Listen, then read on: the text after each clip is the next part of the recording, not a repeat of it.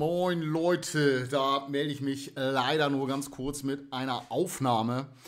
Ähm, ja, äh, ich wollte mich dazu irgendwie äußern, weil ich das jetzt ein paar Mal zugeschickt bekommen habe, dass ein großer, dass ein großer, ähm, ja, äh, ein großer Versand in Schweden, mit dem ich selber zusammengearbeitet habe vor vielen, vielen Jahren. Bin ja Gott sei Dank aus diesem äh, Business, Business raus mit dem Hass. Ähm, wurde Midgard Records, Midgard Shop, wurde äh, von einer antifaschistischen Seite gehackt und die haben über 20.000 Kundensätze erbeutet. Das ist ähm, ich habe das dann zugeschickt bekommen und ich bin dann auf die, auf die Seite, auf die Seite rauf und die ist unter diesem Video auch verlinkt. Und wenn es euch mal interessiert, wer in eurem Dorf oder in eurer Stadt vielleicht bei diesem Neonazi-Laden bestellt hat, könnt ihr das prüfen. Ich will jetzt gar nicht Personen hier vorführen. Das ist, ach Gott, ähm, ähm, ich habe Namen eingegeben, ich habe Städte eingegeben. Es sind ein paar Namen aufgetaucht, die mich nicht überrascht haben. Ähm, ich habe auch ein paar gefunden, wo ich dachte, okay. Ähm, das ist schon, ähm, wirklich sehr, sehr spannend. Also es sind 20.000 Sätze. Es geht um diesen Shop hier. Ähm, es geht um diesen Shop ähm, hier von ähm, Midgard Records. We ship worldwide. Das wissen wir jetzt. Visa und Bitcoin wird da auch genommen die über 2700 Artikel in ihrem Shop haben nach ihrer Auskunft mit sehr, sehr äh, krassen Inhalten, viele verbotene Dinge, die in Deutschland verboten sind, ähm, stark rassistisch, stark antisemitisch und sind auch angehängt an die schwedische Widerstandsbewegung. Dazu gab es einen kurzen Artikel auch von der Taz. Ich weiß, dass die Taz natürlich sehr weit links steht, das macht es aber nichts, ist von dem äh, Autor, der über mich auch schon mal geschrieben hat, einen kritischen Artikel vor sechs, sieben Jahren, aber das ist dann auch schon lange her, da muss man dann auch mal äh, drüber stehen. Am 7.12. hat er das veröffentlicht um 18 Uhr und zwar Nazi-CDs ins Ministerium bestellt.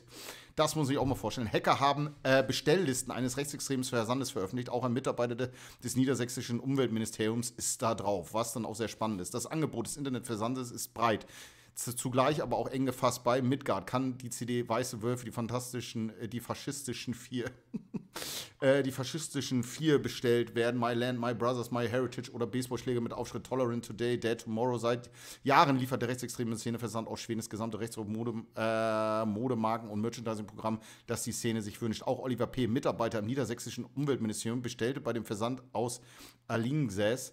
Äh, sicherlich habe er äh, bei dem Versand mal bestellt, bestätigt P., der Taz. Rechtsextrem sei er aber nicht.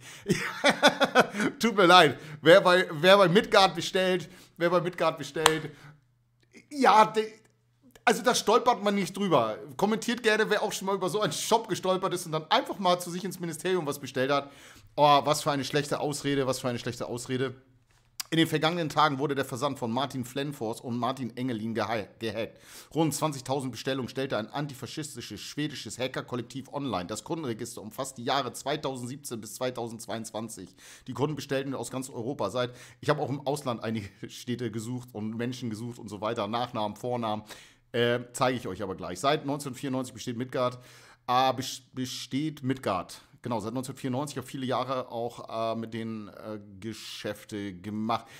Ähm, die haben viele harte Dinge drin, aber haben sich auch von gewissen Dingen ferngehalten. Das ändert aber nichts über das, was ähm, dort auch äh, im Kopf los ist.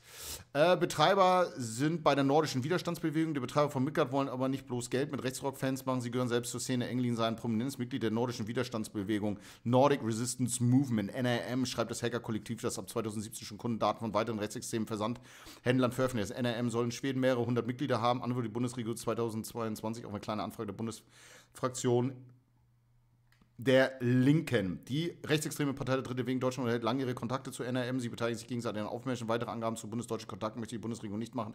Auch um die Arbeitsweise des Verfassungsschutzes zu schützen. Kurz, V-Leute dürften gedeckt werden. Den gehackten Daten ist zu entnehmen, dass Oliver P. von 2018 bis 2022 19 Bestellungen aufgegeben hat. Als Adresse gab er auch die seine Arbeitsstelle im Ministerium an. Ja, per Post kam etwa eine CD von Erich Kemper äh, mit dem Lied Wir wollen klare Beweise. Da geht es um die Auschwitz-Lüge. Erich Kemper, das war, der hat so auf so einem alten weiß ich nicht, auf so einem alten Klavier, ich weiß nicht, wie man das nennt.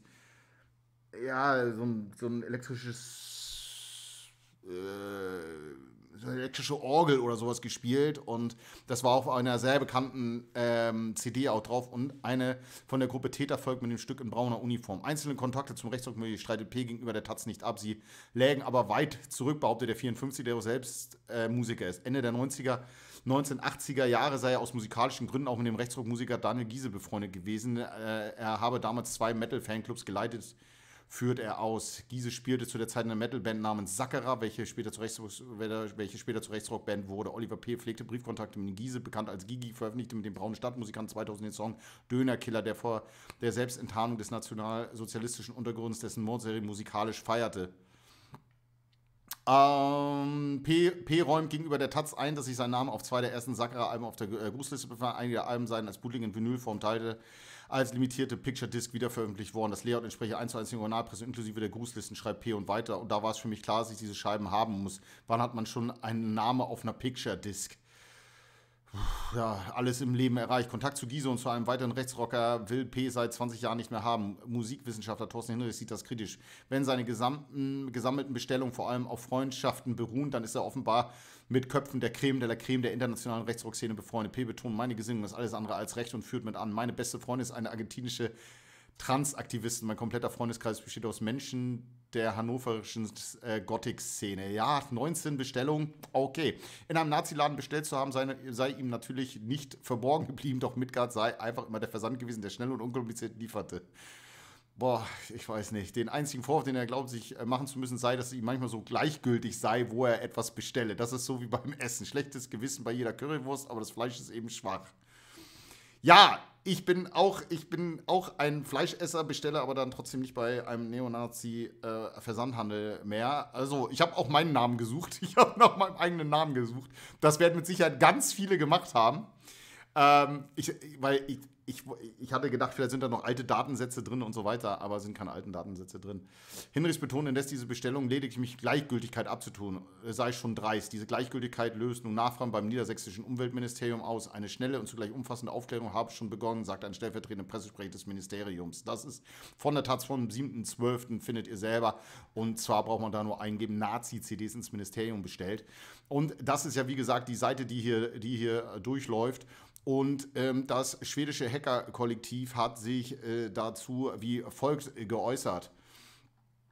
Um, Midgard. Midgard is one of the largest online stores in uh, in the Nordic region for white power music and merchandise. Since the 1990s, Midgard has played a significant role in the Nazi movement in Sweden, serving as an infrastructure for the movement. Over the years, Midgard has actively participated in and financially supported several Nazi organizations as well as being present at internal events.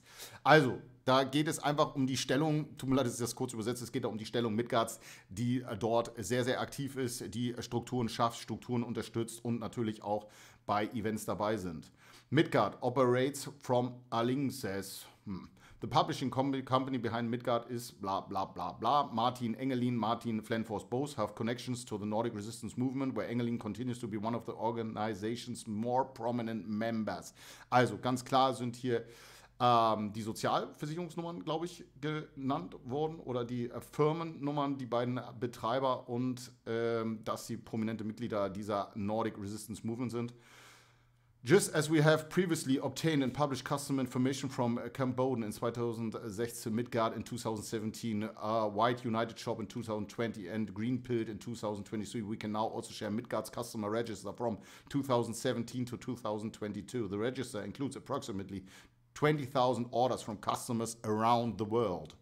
Ja, also sie haben mehrere Shops ja schon mal hops genommen und jetzt haben sie 20.000 Bestellungen in den Jahren von 2017 bis 2022 äh, aufgelistet. Da muss man auch mal sagen, was das für ein unglaubliches Potenzial ist, über wie viel Geld man da spricht. Da bist du dann auch im Millionenbereich. Ähm, wichtig, dass diese Daten da mal erbeutet worden sind. Das ist mit Sicherheit ein großer Schlag ähm, gegen die Neonazi-Szene, das auch zu veröffentlichen und seinen Namen auf diesen Listen zu finden. Ich bin gespannt, wer da welche findet. For some time, we have, we have uh, processed the Swedish part of the register, which contains about 2,500 unique customers. All of the customers have actively chosen to financially support the Nazi movement in Sweden by ordering from Midgard. Also, sie haben 2.500 Einzelkunden feststellen können, die aktiv dann die, äh, die äh, Nazi-Szene in Schweden durch Bestellung unterstützt haben. Uh, due to the uh, extensive of the register, we have chosen to place it on this external page with a feature that makes it easily searchable. We want the register to be a resource for anyone who wants to investigate and attack the Nazi movement, which is the publication. We want to show that one can never be anonymous when choosing to support the Nazi movement. We will always find you. It's only a matter of time. Ja, durch, äh, sie haben dann beschlossen, diese Daten auf eine externe Seite mit einer Suchfunktion raufzustellen. Und ähm, die äh, Liste soll eine Quelle sein, um äh, Leute in der Nazi-Movement zu attackieren. Bitte, bitte, bitte nicht gegen Menschen vorgehen.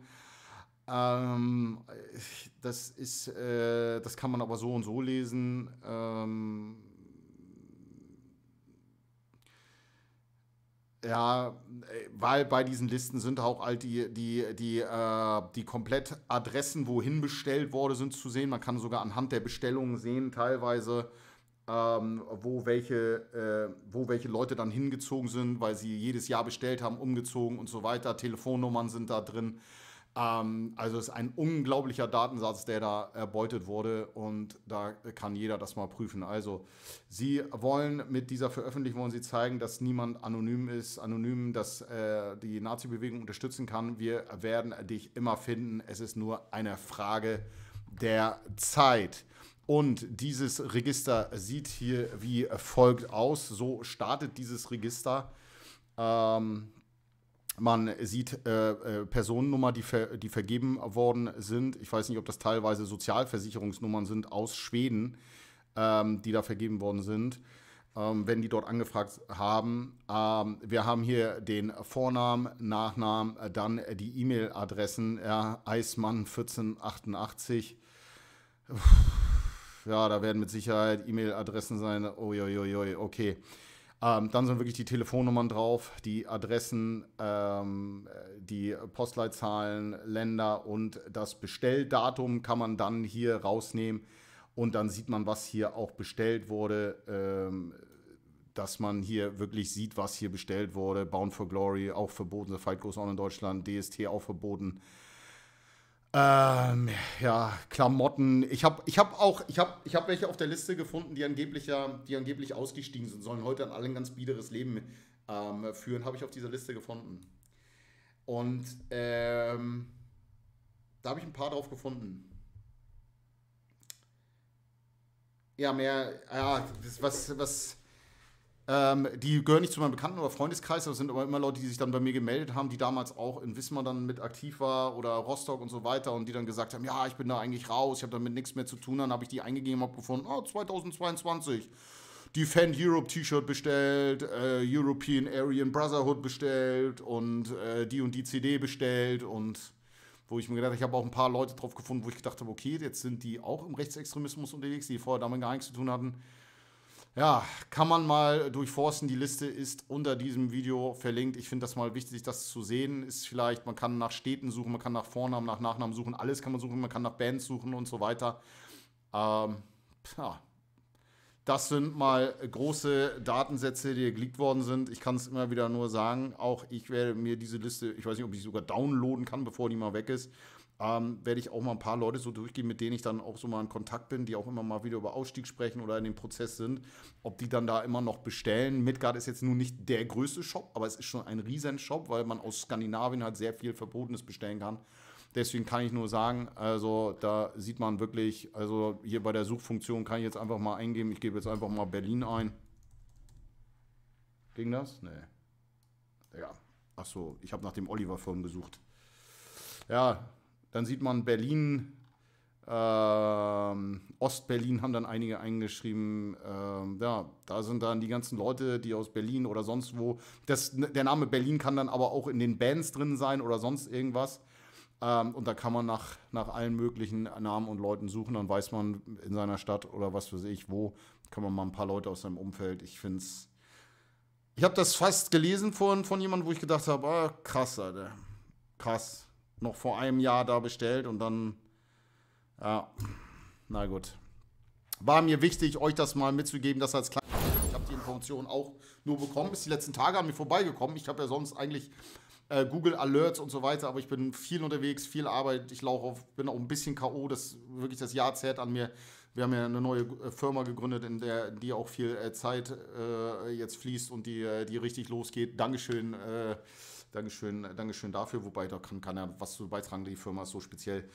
Und ähm, ja, vielen Dank an alle, die das hier kommentieren. Daumen hoch gerne, schaut euch das mal an, schreibt in die Kommentare, lasst einen Daumen hoch, Daumen runter, wenn ihr mich generell scheiße findet. Ist das völlig in Ordnung. Ihr könnt mich gerne nett beleidigen, nicht zu doll, nicht strafrechtlich beleidigen. Ähm, genau. Ähm, kommentiert. Viel mehr kann ich dazu nicht sagen. Ich wünsche euch noch eine schöne vorweihnachtliche Zeit. Ich bin gespannt, wer, wie, wo, welche Leute da findet. Äh, ja, das muss ich auch erstmal verarbeiten. Krass, Leute. Ich verbleibe wie immer mit einem Ahoi von der Küste.